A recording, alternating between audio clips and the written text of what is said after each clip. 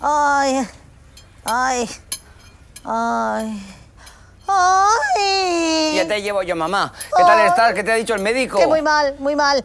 Estoy fatal. Me he roto todo, el menisco, el tarso, el metacarpio, todo, todo. Tengo para un mes de escayola, por lo menos. Ay. El metacarpio está en la mano, ¿eh? ¿Eh? Sí, es que cuando te rompes un hueso mm, se rompen todos. Es que el esqueleto humano es como un dominó. Pero vas a tener que estar un mes entero. ¿Un mes así? Sí.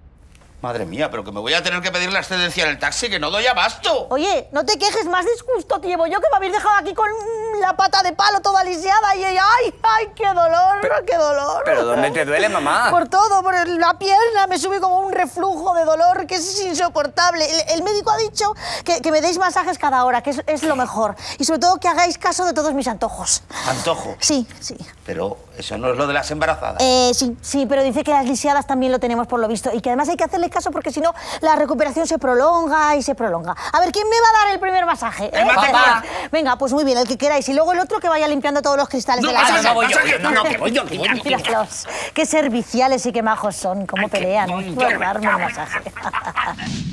Un poquito más ahí, al- abajo, ahí, ahí es donde, ahí, ahí, dame, dame ahí. ya limpia los cristales de la cocina. Ay, vale, pues muy bien, pues ahora empieza con los del salón. Joder, macho, yo no sabía que tenía tantos cristales esta casa. Tendríamos que haber comprado un bajo interior. Pues, pues dímelo a mí, que me los hago toda la semana.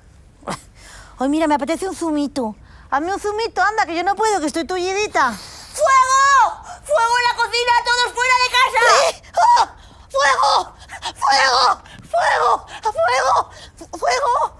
Pero, María Jesús, ¿qué haces andando? Eh, ¿Pero no te dolía tantísimo la pierna? eh, pero, ¿que hay fuego? ¿Eh, ¿Lo discutimos fuera? No, no hay fuego, no. Solo lo he dicho para dejarte en evidencia. ¿Qué evidencia?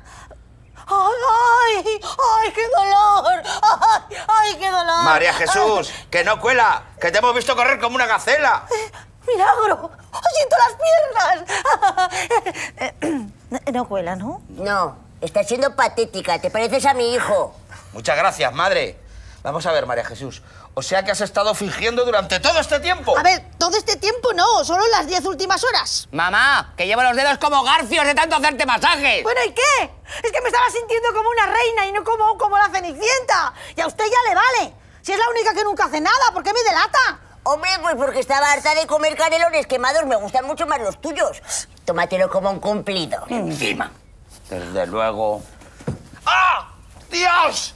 ¡Dios, me he hecho un esguince en este pie! ¿Pero qué te pasa? Pero si te has dado en el otro. ¿Eh?